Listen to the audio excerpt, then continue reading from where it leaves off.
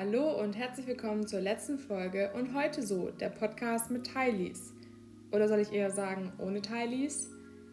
Ja, heute war Abreisetag.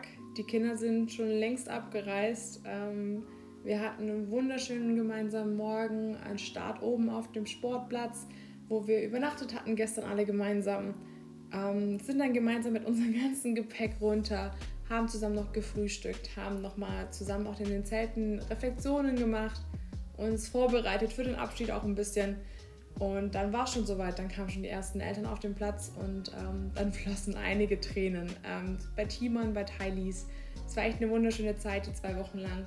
Wir haben es richtig genossen als Team, mit euch Kids zusammen äh, dieses Z-Lager zu gestalten und freuen uns natürlich umso mehr, euch nächstes Jahr wiederzusehen, sei es als Teamer, sei es als Tylee, egal auf welcher Freizeit, wir freuen uns, euch zu sehen.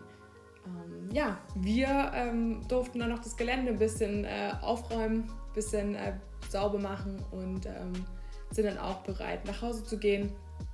Freuen uns sehr, nach Hause zu gehen, sind natürlich aber auch ein bisschen traurig, dass diese zwei Wochen wieder so schnell vergangen sind und sind gespannt auf 2025. Also vielleicht gibt es diesen Podcast auch nächstes Jahr wieder oder auch nicht. Wir sehen es. Und wenn nicht, einfach gerne die alten Folgen immer wieder gerne anhören. Tschüss!